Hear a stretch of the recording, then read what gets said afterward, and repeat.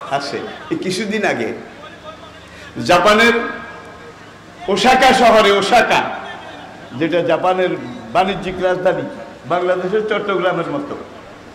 সেখানে হলে আমি বক্তব্য রাখলাম, তাওহিদ সম্পর্কে, তাওহিদ, একত্ববাদ। অনেক প্রশ্ন বিদেশে। তো প্রথম একটা প্রশ্ন বক্তব্যের পরে করল যে মুসলমানের রহিম আর হিন্দুর রাম। মূলত জিনিস এক রহিম আর রাম।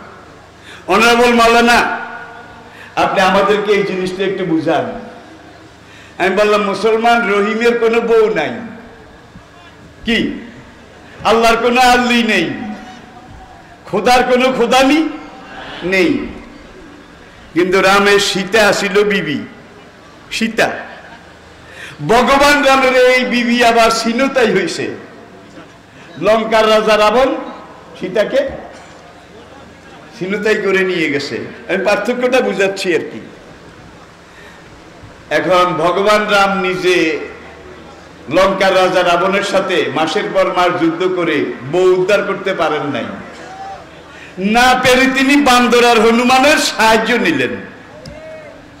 সাহায্য নিয়ে বান্দর আর হনুমান বাহিনী তাদেরকে লাগিয়ে দিয়ে তারপরে সীতাকে বউকে উদ্ধার করলেন। যেই ভগবান নিজের বউটা আরেকজনের কাছ থেকে উদ্ধার করার জন্য নিজের কুয়ত ক্ষমতা পারলেন না, বান্দর আর হনুমানের সাহায্য নিলেন। তিনি কত বড় ভগবান। অযোধ্যায় তেরোটা রাম মন্দির আছে, তেরোটা, অযোধ্যা শহরে। প্রত্যেক মন্দিরে পূজা হয়। ভোগ হয়।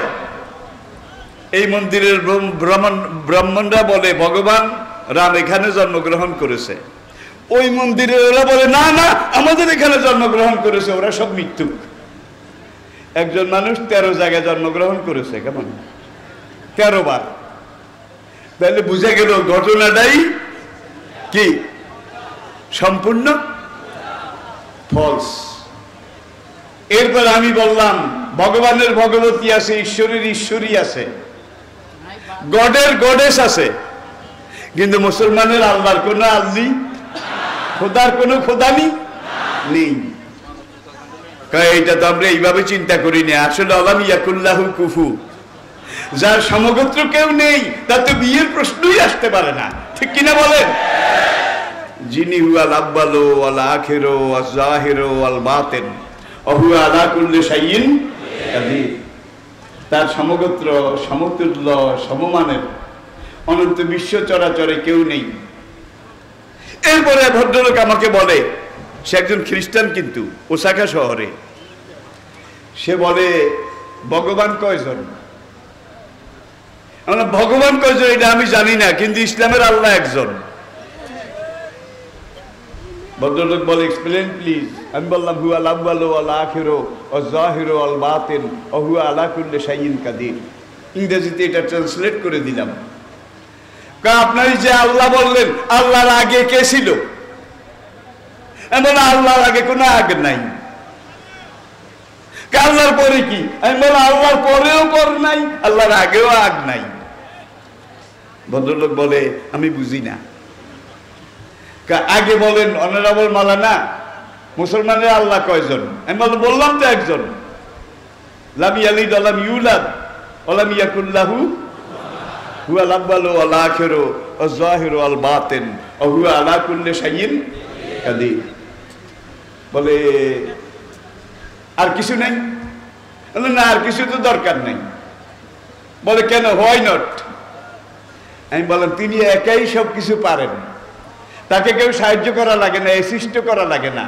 তার কোনো উপদেষ্টা মন্ডলীয় লাগে না মিনিস্ট্রিও লাগে না পারমানেন্টও লাগে না। তিনি একাই পরম, একাই চরম, একাই দক্ষ, একাই মুখ্য, একাই অনন্দ অনাদি, একাই অনন্ত।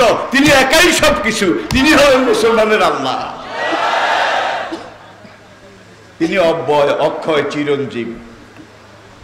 তিনি নিরঙ্কুশ ক্ষমতারও একমাত্র মালিক। এরপরে বলে, আসলে জানতে চেয়েছি, কোন ধর্মে তিনজন, কোন ধর্মে দুইজন, কোন ধর্মে তেত্রিশ কোটি, কোন কোন ধর্মে অনন্ত কোটি। আমি বললাম, না, ইসলাম এটাকে স্বীকৃতি দেয় না। একজন, তিনি কে? তিনি কে? বলে, আরেকজন হলে ভালো হইতো না। ইহুদিরা মানে অকালতিল ইয়াহুদ ওজাইর ইবনুল্লাহ খ্রিস্টানরা কয়? God the Father God the Mother God the Holy Ghost আল্লাহ নিজে এক খোদা। আল্লাহর বউ, বিবি মরিয়ম, আরেক খোদা নি খোদার স্ত্রী। আরে আল্লাহর মরিয়মের মিলনে যে সন্তান হয়েছে গড দা হোলি গোস্ট পবিত্র আত্মা, এই তিনজনে মিলে অনন্ত বিশ্ব চালায়। নাউজুবিল্লাহ। পরের নাউজুবিল্লাহ। আমি বললাম, আপনাদের এই জাপান, এখানের রাজা কয়জন? ভদ্রলোক ওয়ান, একজন। আমি বলে আরেকজন হইলে ভালো হইতো। No no, quarrel quarrel quarrel, ঝগড়া হইতো ঝগড়া হইতো, বিবাদ হইতো। আমি বললাম তাহলে এখানে রাজা একজন, প্রধানমন্ত্রী একজন। আরেকজন হলে ঝগড়া হতো, বিবাদ হতো। আল্লাহ কোরআন এই কথাটাই বলেছেন, আমি আল্লাহ ছাড়া, এখানে যদি আরেকজন আল্লাহ থাকতো লাফাসা দাতা দিনের মধ্যে কয়েকবার গুতাগুতি লাগতো। ঠিক কিনা বলেন? ভদ্রলোক বলে, আমার কাছে জিনিসটা পরিষ্কার হলো না। আমি মাই ডিয়ার জেন্টেলম্যান আপনি আমাকে সত্যি করে বলুন, সৎকিয়াতে অঙ্ক কয়টা? সৎকিয়া? কর্নাবল মালানা এটা কি কোনো প্রশ্ন হলো? সৎকিয়াতে অঙ্ক একশোটা। আমি বললাম, কি? এক থেকে একশো? গণনা। আমি বললাম this is wrong this is wrong আপনার এই জব ভুল। যদি পারেন, ঠিক করে বলেন সৎকিয়াতে অঙ্ক কয়টা। ভদ্রক বল- লোক বললেন, দশটা দশটা। আমি বললাম, কোন দশটা? তিনি বলেন এক থেকে দশ। আমি বললাম দিস ইজ অলসো রং আপনার এক থেকে দশ, এইটাও ভুল। যদি পারেন ঠিক করে বলেন। এবার একটু মুডে গেছে। আমি এইটা বললেও ভুল, এটা বললেও ভুল, এটা বললেও ভুল। আপনি বলেন সৎকিয়াতে অঙ্ক কয়টা? আমি বলার জন্যই তো কথাটা পেরেছি। সৎকিয়াতে অঙ্ক মাত্র একটা। আর কোনো অঙ্ক নাই। কীভাবে? একদম এক, একমাত্র অঙ্ক একক। ভদ্রলোক বলে, কেন দুই, তিন, চার?